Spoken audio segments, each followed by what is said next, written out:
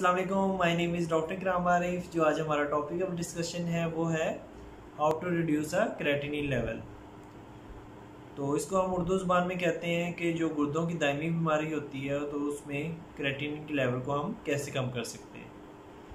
तो creatinine level जो होता है, जो गुर्दों की दायमी बीमारी होती है, जिसको हम सी कहते हैं, उसमें क्रेटिनिन लेवल बहुत ज़्यादा बढ़ जाता है। जो क्रेटिनिन लेवल है, उसको कम हम कैसे कर सकते हैं, उसको हम वन बाय वन डिस्कस करते हैं। तो सबसे पहले ये होता है कि अगर आपका क्रेटिनिन लेवल बहुत ज़्यादा है तो आप एक अच्छे नेफ्रोलॉजिस्ट या कंपिटेंट नेफ्रोलॉजिस्ट से कंसल्ट करें, ताकि वो जो आपकी मेडिसिन है, उसके आपके जो क्रेटिनिन लेवल है, उसके अकॉर्डिंग एडजस्ट कर सके या आपको मशवरा दे सके कि आपका क्रेटिनिन जो है लेवल वो इतना है कि मेडिसिन से कवर हो सकता है या आपको डायलिसिस पे जाना पड़ सकता है। दूसरे नंबर पे आ जाता है कि आपको प्रोटीन डाइट कम लेनी होती है।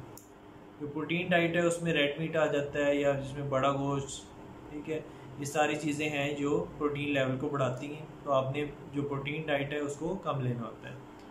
थर्ड नंबर पे आ जाता है कि आपने वजह को, वजह जो जो भी होती है, अंडरलाइन कॉज या रूट कॉज पड़ी होती है, उसके इलाज करना होता है। जैसे किसी को पहले से शुगर है या ब्लड प्रेशर की बीमारी है तो आपने शुगर या ब्लड प्रेशर का इलाज करवाना है।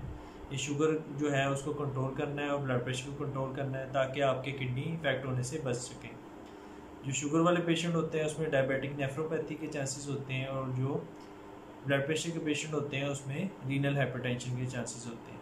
तो अगर आप शुगर के लेवल को कंट्रोल करेंगे और ब्लड प्रेशर को कंट्रोल करेंगे तो आप जो क्रेटिनिन लेवल है, उसको भी कम कर सकते हैं। फोर्थ नंबर फोर्थ नंबर पे आ जाता है कि आपको कॉम्प्लिकेशन का इलाज करना होता है। मतलब पचीदगियों का आपने इलाज करना होता है। अब पचीदगियाँ कौन कौन सी आ सकती हैं? तो उसमें आपने, आपका कैल्शियम लेवल बढ़ सकता है, फास्फोरस लेवल बढ़ सकता है, ठीक है? और आपको अनीमिया हो सकता है। जो सी के डी की पेशेंट में ज़्यादातर जो कॉम्प्लिकेशन देखी गई है, वो है अनीमिया होता है। अनीमिया भी हो जाता है कि आपका एच लेवल कम हो जाता है तो उसमें आपको रिथ्रोपोइटिन इंजेक्शन भी लगवाने पड़ सकते हैं। तो जो कॉम्प्लिकेशन है, अगर उसको प्रॉपर टाइम पे आप उसको डायग्नोस करके उसके इलाज करवा लेंगे तो उससे भी आपका क्रेटिन लेवल नीचे आ सकता है। फिफ्थ नंबर पे आ जाता है कि कुछ स्पेशल मेडिसिन का इस्तेमाल करना। जो स्पेशल मेडिसिन है, उसमें कौन कौन सी आ जाती हैं? मैंने प्रीवियस वीडियो में भी आपसे डिस्कस किया था कि जो ए सी इनिबिटर होते हैं, ये ए आर बी होते हैं, वो आपके जी एफ़ आर के फ्लो को डायबिटिक पेशेंट में बढ़ा देते हैं। जब जी एफ़ आर फ्लो बढ़ जाता है तो उससे भी आपका क्रेटिन लेवल कम हो जाता है। उसके अलावा कुछ S G L T antagonist dapagliflozin या एम्पाग्लोफिजिन ये मेडिसिन है और वेल्सार्टन टेलमीसार्टन या एनेलाप्रिन ड्रग है, ये भी आपके क्रेटिन लेवल को कम कर सकती है। और आपके छठे नंबर पे आ जाता है कि पेशेंट ज़्यादातर वो होता है कि यूरिक एसिड का भी प्रॉब्लम साथ साथ चल रहा होता है। जब जब तक यूरिक एसिड हाई रहेगा तो आपके क्रेटिनिन क्रेटिनिन जो लेवल है उसके भी हाई रहने के चांसेस होते हैं। अगर आप यूरिक एसिड के लेवल का इलाज, उसके यूरिक एसिड के, उसका भी इलाज जारी रखेंगे, यूरिक एसिड लेवल कम हो जाएगा तो आपका क्रेटिन लेवल भी कम हो सकता है।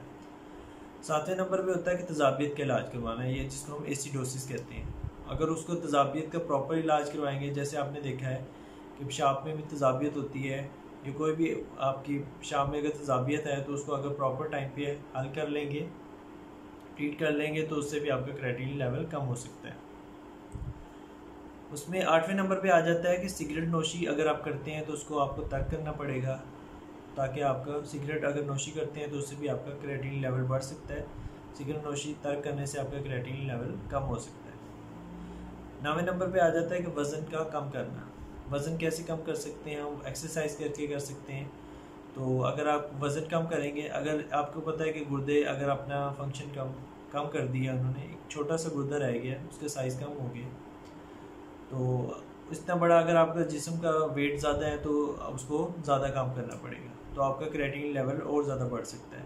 अगर आप एक्सरसाइज करके अपना वज़न कम करेंगे तो उससे भी क्रेटिन लेवल कम हो सकता है। दसवें नंबर पे हो जाता है जो मेन कॉज है ज़्यादातर लोग आपने देखा होगा पेन किलर यूज़ कर रहे होते हैं। उनको हम मना भी करते हैं कि पेन किलर ज़्यादा यूज़ नहीं करने। ज़्यादातर पेन किलर यूज़ करने से या कुश्ते वगैरह यूज़ करने जो हकीम वाली मेडिसिन है यूज़ करने से भी आपके क्रेटिन लेवल बढ़ सकता है। आप पेन किलर से अवॉइड करें, या कीम की जो मेडिसिन है, उसमें लेड या मरकरी वगैरह होते हैं, उससे अवॉइड करें, ताकि आप कॉम्प्लिकेशन से या हाई क्रेटिन लेवल से बच सकें।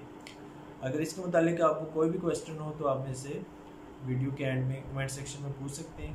मेरी वीडियो को ज़रूर लाइक कीजिएगा और शेयर कीजिएगा। और चैनल को ज़रूर सब्सक्राइब कीजिएगा। थैंक यू अल्लाह हाफिज़।